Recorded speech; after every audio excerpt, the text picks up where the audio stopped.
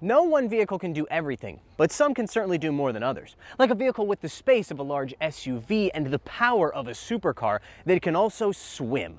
Meet the Yangwang U8, the Chinese all-electric super SUV that costs 155,000 US dollars.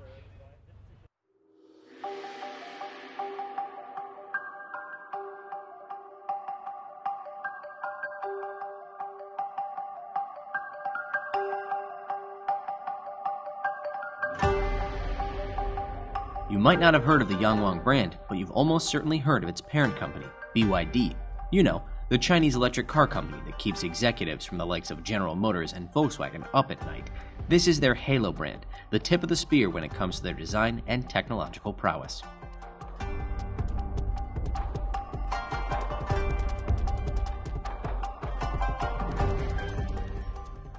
That means they've invested quite a bit into making this as impressive as possible, starting with the way it looks. Yes, it is huge, with dimensions very similar to that of the Land Rover Defender 110, if you don't include that 30 centimeter spare wheel mount on the back. But there's more to making a luxury SUV than just size.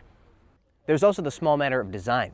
From the diamond-like grille insert to the huge daytime running lights, the front end of the U8 is a mass of visual jewelry. According to chief designer Wolfgang Egger, this design language is called Timegate, and it's inspired by none other than the universe itself, with each of these individual points representing a star within that universe. And there is some deeper meaning behind that bling. The daytime running lights are reminiscent of the Chinese character ding, which can mean either throne or, more metaphorically, the concept of state power itself. I'm not going to stand here and tell you that this is an undeniably beautiful design, but I do think it's undeniably distinctive.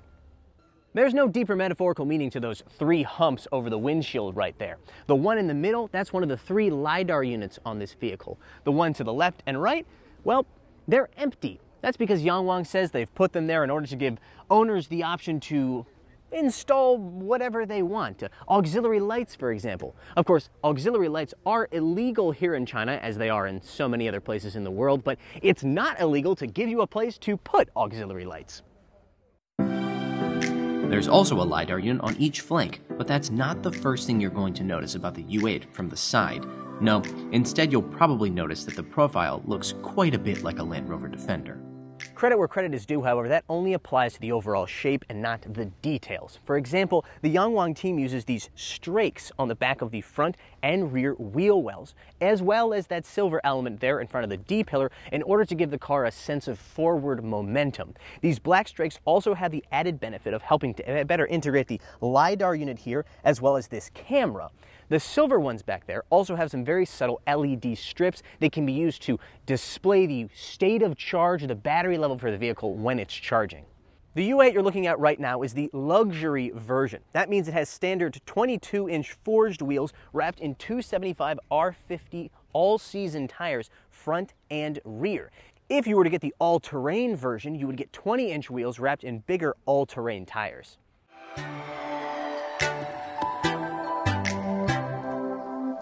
The rear design of the U8 does an admirable job of echoing the same themes as the front. Note the repetition of the stars and the LED taillights, as well as the overall shape of that Chinese character that I mentioned before. The giant 30 centimeter thick full size spare wheel mount will be optional at some point, but for now, you can't delete it from the U8. Yangwang also says they're eventually going to offer a tow hitch package, but they haven't done so yet.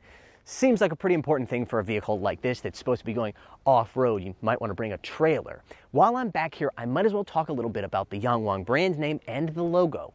The word or phrase Yangwang in Chinese means to look up. So look up at the sky, for example, but in a more metaphorical way to look up perhaps to a greater power, maybe for inspiration.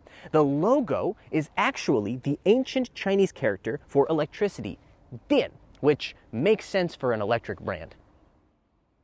Behind that spare wheel is a cargo area measuring 10,031 liters with the rear seats up and 2,050 when you lay them down, which you can do at the touch of a button over here. There's also a button for lowering and raising the vehicle's suspension, which you're going to want to do because this is a really high load for. To the left, there is a 12 volt outlet, and to the right, a 220 volt. There's a reason that load floor is so high, and it has to do with what's underneath the Yangwang U8, starting with the E4 electric motor powertrain. That's the same E4 system that's found underneath the Yangwang U9 electric supercar. That means four electric motors, two in the front, two in the rear. In this application, each of those motors is making 220 kilowatts. If you're keeping track, that's a total of 880 kilowatts and 1280 newton meters of torque, aka 1,200 horsepower, and 950 pound feet. Thanks to all that power, the U8 can hurl its 3,460 kilogram, that's about 7,600 pound curb weight, to 100 kilometers per hour, or 62 miles per hour, in just 3.6 seconds. Unlike the Yangwang U9, however, the U8 is not a pure EV. It's actually an extended range electric vehicle. That means up front here it has a 2 liter turbocharged four cylinder engine that acts as a generator. It does not power the wheels. Instead, it just generates electricity for the four electric motors and a 49.05 kilowatt hour LFP blade battery pack. According to Yangwang, this thing is capable of a pure EV range of 180 kilometers on the CLTC cycle. That's not a terribly impressive number, no doubt due in large part to that gargantuan curb weight, but throw in the 75 liter fuel tank, and Yangwang says you can achieve a combined range of 1,000 kilometers. Thanks to those four electric motors, the U8 can control each wheel independently, which means it can do tank turns. If you're wondering, does this chew up your tires? The answer is yes, but you know, you gotta pay the cost to be the boss.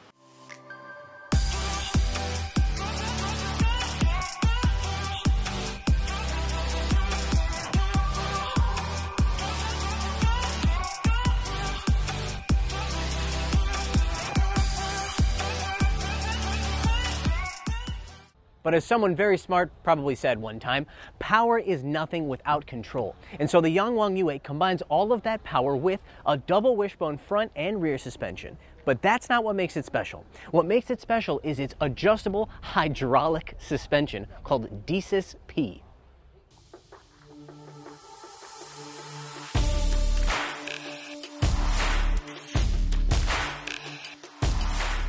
Yes, I said hydraulic, not air suspension. DiSus-P can adjust vehicle height by up to 15 centimeters and can change its stiffness in a matter of milliseconds based on the information it gets from scanning the road ahead.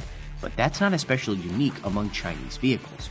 What is unique among all cars on sale today is its ability to compensate for things like sudden tire blowouts.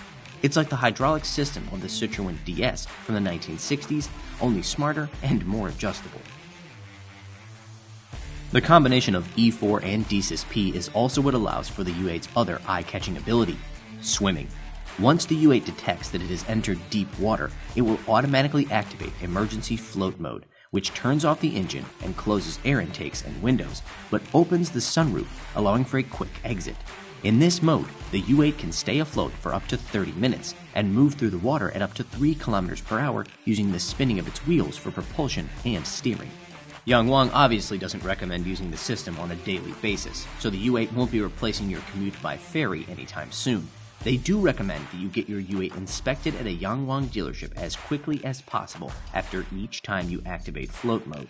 Oh, and since float mode turns off the four cylinder generator up front, make sure you have plenty of juice in your battery before going for a swim. A float time of 30 minutes probably feels even shorter once you're stranded with no power to move your wheels. I've heard of a driver focused cockpit before, but the U8 is the first driver and passenger focused cockpit that I have ever seen. Just look at the way the dashboard wraps around the two front seats. It also has an extremely unique center screen, not because of its size, which is 12.8 inches, but because it has a convex or outward curve to it. This is not the type of screen that you can just pick out of a parts supplier's catalog, and I imagine BYD spent a lot of money developing it just so it would fit smoothly into this curved dash. The same goes for the 23 inch instrument cluster and matching 23 inch passenger screen, both of which have been designed to complement and not conflict with the dashboard design. The left side of that instrument cluster is also a touchscreen, where you can control features like the lights and the standard heads up display. As with the front end design, I'm not going to sit here and say it's undeniably beautiful, but it does feel special. It also feels luxurious. Almost every surface that you can touch is covered in either real leather or alcantara, including the entire headliner. There's also a wood called sapelli, which apparently comes from tropical regions of Africa. There's huge pieces of it on the door and here on the center console. What I'm trying to say is this is not one of those looks like Bloomingdale's, feels like Walmart type of things. The steering wheel of the Yu, it is a pretty standard affair in terms of design, except for two areas. The first is these paddles here on the back. These are used to turn on the driver assistance system for the vehicle. They seem to really not do anything other than that, and both sides do the same thing. Honestly, I think it would have been easier just to have it all controlled here on the steering wheel and maybe use these for changing driving modes or regen settings, but oh well. What I do get, and in fact, what I love, are these two wheels here at the bottom of the steering wheel. These are used to change your driving modes. On the left, you have your on-road driving modes, your, let's see, uh, sport mode, uh, eco mode, comfort mode, and then on the right you have another wheel that's used to change into your off-road modes, your sand and snow and mud modes. I love these because, well, first of all, you don't have to take your hands off the steering wheel in order to change your driving settings, and you can also change them from either the back or the front, like this. It's a very creative solution for this problem. Below this beautiful curved screen is a set of physical buttons. On the far left, we have the E4 button. If I hit that, that opens up your options for your different off-road modes. It also allows you to do tank turns and enter competition mode. Competition mode is the only way to get the fastest 0 to 100 kilometer per hour time in this vehicle. Next to that is the button for automatic parking. And then over here you have some Chinese characters. This is Yun Nian. Yun Nian is the Chinese name for the DiSus suspension system. So Yun means cloud and Nian is the old Chinese character for a vehicle, more specifically for the emperor's carriage, the vehicle the emperor, or rather the carriage the emperor would have been carried around in. Over here, you just have some buttons for your air conditioning and the on and off button for your screen. If I hit that Yunnin or DiSus button, it opens up a menu here for the suspension settings, specifically the ride height. So it will show not only the current height of the vehicle in that current suspension setting, it will also show you the maximum ground clearance at that setting. Down below, we have another series of toggle switches. These have more to do with the off-road settings for the vehicle, the, the equipment for off-roading. So you've got your locking front diff, your locking rear diff, uh, over here is the adjustable height here, and then this is for turning off the traction controller, the ESP. In the middle, you do have an on and off button for the engine, which interestingly, you don't really need. Once you get into the car, it will, just like most modern electric cars, turn on on its own if you have the key with you. But if you were, for example, to be out camping and you wanted to use the V2L or vehicle to load system, which is a 6.6 kilowatt maximum, then you would need to turn on the engine and you could use this button to do that. Working our way backwards, here we have two 50 watt wireless charging pads, cup holders, not very exciting, but behind that is the center console cubby, which isn't just a cubby. It's actually a heated and cooled storage area. It can go from anywhere to 6 to negative 6 degrees Celsius. That's about oh, 21 to 43 degrees Fahrenheit. U8 has a sound system developed by Dynaudio. Its name, Evidence. Not a great name for the system, I'm not going to lie. BYD has another series that's called Confidence, which makes sense to me. Evidence doesn't sound particularly premium. Either way, on this luxury version, it's got 22 speakers. On the off road version, it's got 18. If you really want to impress your neighbors, then you better get the optional roof mounted drone hanger, co developed with DJI. Not only can it store your drone, it can also charge and then swap in one of the three battery packs that it keeps at the ready. Launch it by the screen and it will follow your U8 from whatever angle you prefer. When you're done filming, hit the return to base button and the drone will automatically land in the hangar. No word on price for this option, but considering the fact that the much simpler drone package on the M Hero 917 costs 14,000 US dollars, I'm guessing the number will be eye-watering.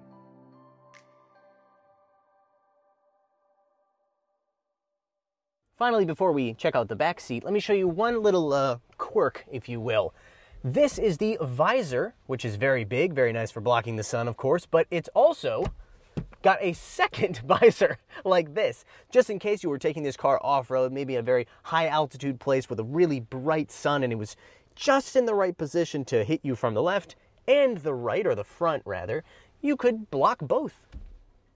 Ah, the rear seat of the Yangwang U8. This is a vehicle with a wheelbase of 3 meters, so I'm not surprised to tell you there is a ton of space back here, both in terms of legroom and, as you can see, headroom. Absolute massive amounts of headroom. This thing is also equipped, the luxury model specifically, with twin 12.8 inch rear entertainment screens, one for either side. These are the exact same screens, as far as I can tell, that were in the Denza D9 MPV that we reviewed. That's not a complaint, they're pretty great. Very easy to use UI and everything.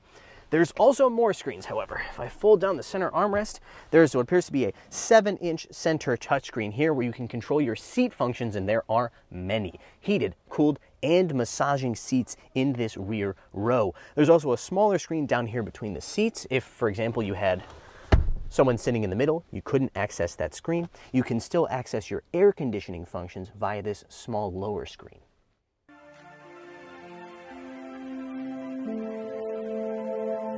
Before getting behind the wheel, I had the opportunity to sit shotgun while an instructor took the U8 through a series of obstacles that illustrated its off roading abilities, with an approach angle of 36.5 degrees, a departure angle of 35.4 degrees, and a breakover angle of 25.5 degrees, not to mention a maximum ground clearance of 31 centimeters.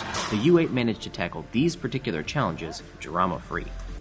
Now we're sitting at a 26 degree angle. I find the seat to be pretty supportive at this point. I didn't think that was going to be that important because this isn't a sports car, but it turns out as an off-roader, you still need some really big bolsters.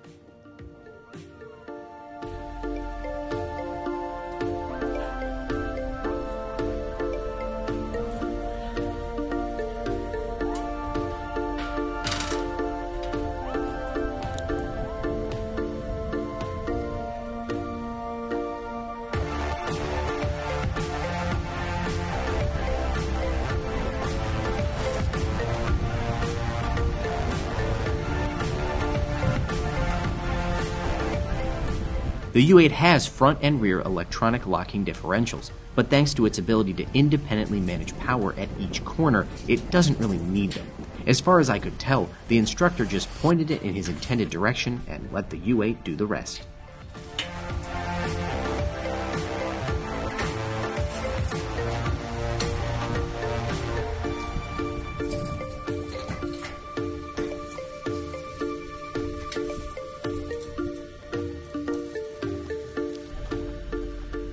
So now we're going up this hump, and uh, this is using the hill assist. The driver is not touching the brake, not touching the gas at all. The vehicle is completely in control. It's using its electric motors to very gracefully go over this hump.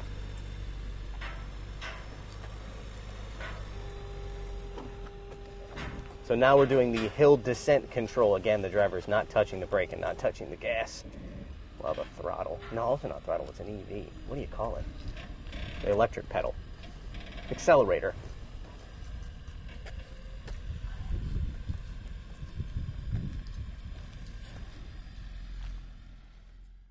Before we get behind the wheel of the Yangwang U8, I want to show you guys a little bit of a detail that I really love, and that is the key for this vehicle. Check out this gorgeous piece of solid metal right here. We were told by Wolfgang Egger that a smooth ebony stone like this was actually one of the design inspirations for the design language for the Yangwang U8 and for the entire Yangwang brand. So it makes sense that they would have the key, the, the, the key shaped like this. I gotta tell you, the way that it feels, and especially the, the weight of it in your hand, this thing is probably one of the nicest keys I've ever experienced.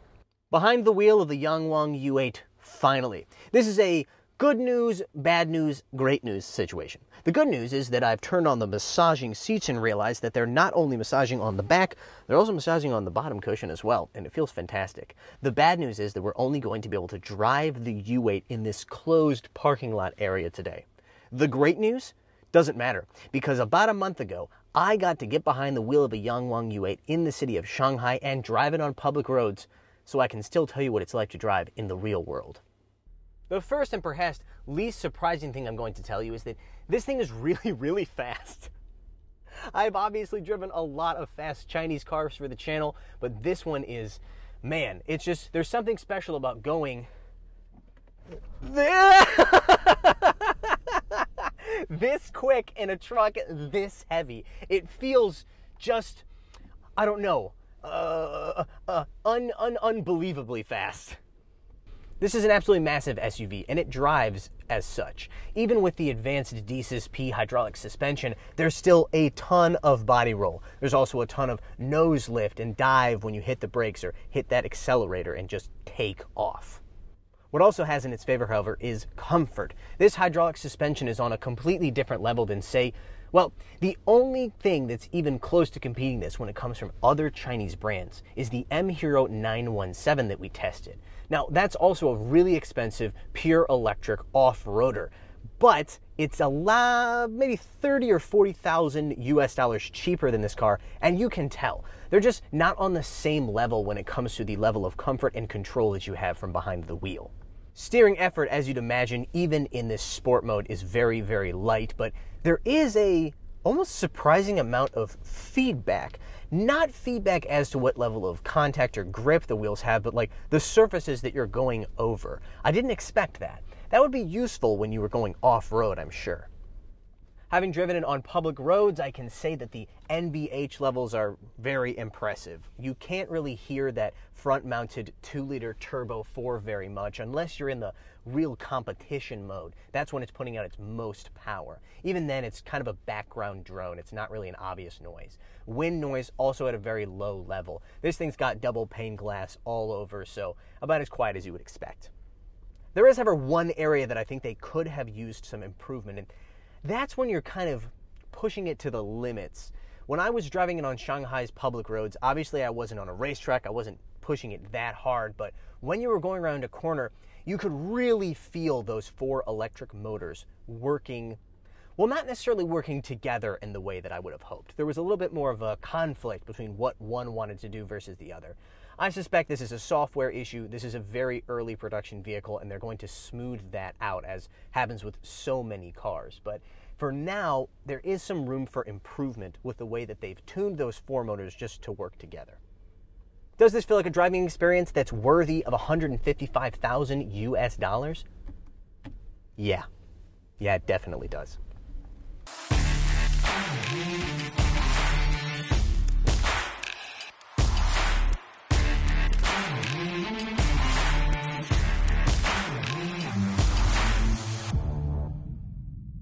And now, as we wrap up this video, I'm going to answer the one question that I'm sure many of you have been wanting to ask. When is the Yangwang U8 going to go on sale outside of China? The answer is, we don't really know. BYD says they have no specific plans as for when this brand will be exported. All you can do is look forward to it.